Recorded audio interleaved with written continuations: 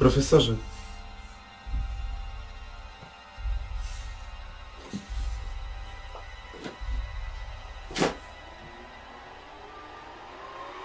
To przekraczy granice mojej wyobraźni. Myśli pan, że Voldemort osiągnął cel? Policzył Sinusa? Z pewnością mu się udało. I to nie raz. Kosinusy też liczył. I co teraz robimy? Trzeba posiąść wiedzę, którą on posiadł. Ale jak? Mamy mało czasu, więc wykorzystajmy ten pierścień. I zeszyt. Notatnik Toma Riddla. Dokładnie. Cztery lata temu, kiedy ty ratowałeś Ginny West z komnaty tajemnic, Voldemort kończył swoje obliczania w tym zeszycie. Gdy go wykopałem z podziemi, wiedziałem, że to rodzaj innej matematyki. Bardzo czarnej i potężnej matematyki. A pierścień? Pierścień? Pierścień to tylko rekwizyt.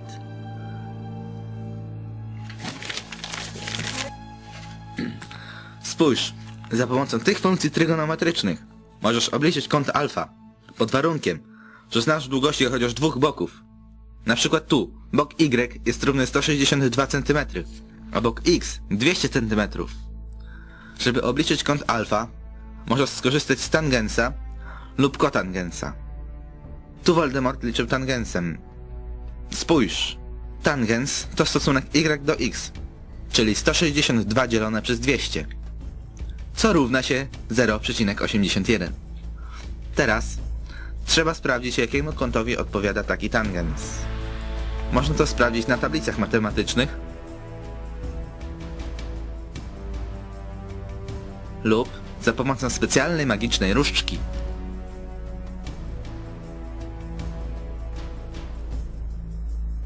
Patrz! Tangens równy 0,81 odpowiada kątowi 39 stopni. Profesorze, czy to jest konieczne? Nie marudź, jesteś wybrańcem. Tylko zgłębiając techniki matematyki zdołasz zabić Lorda Voldemorta. Tu masz inny przykład zastosowania funkcji trygonometrycznych. Możesz dzięki nim liczyć długości boków trójkąta. Pod warunkiem, że znasz długość innego boku i chociaż jeden kąt ostry tego trójkąta. Spójrz! Za pomocą przekształcania wzorów funkcji trygonometrycznych, w tym wypadku sinusa, wyznaczysz sobie wzór na długość boku, który chcesz policzyć. Nie chcę. Wyznaczasz wzór na długość boku, który chcesz policzyć. Potem, w tablicach matematycznych lub na kalkulatorze, liczysz wartość sinusa i sprawdzasz, jaką długość ma znany nam bok w trójkącie. Podstawiasz te wartości do wzoru i liczysz.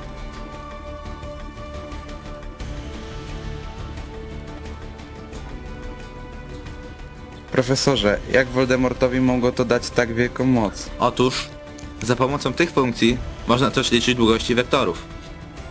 Na przykład siły wypadkowej. Wyobraź sobie, że ciągniesz sanki po poziomej powierzchni. Ty możesz ciągnąć ukosem, ale siła wypadkowa będzie miała kierunek poziomy. Tu jest trójkąt prostokątny. Teraz możesz w łatwy sposób policzyć długości wektora siły wypadkowej, a więc i wartość tej siły.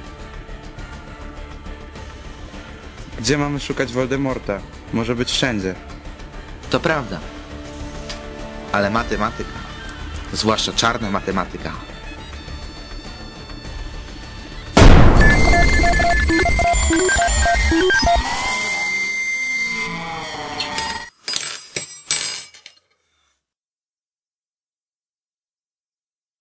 zostawia ślady.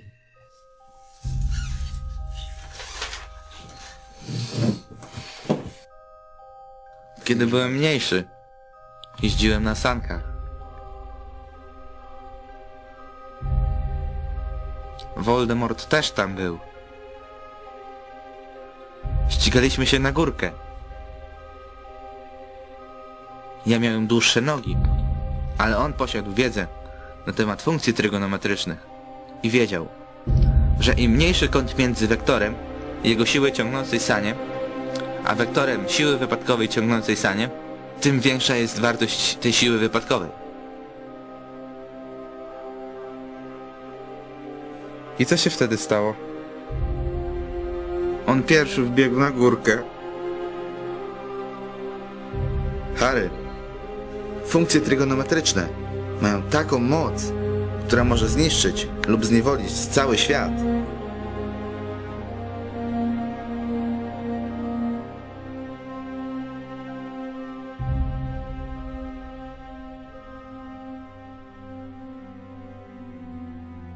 On pierwszy wbiegł na górkę.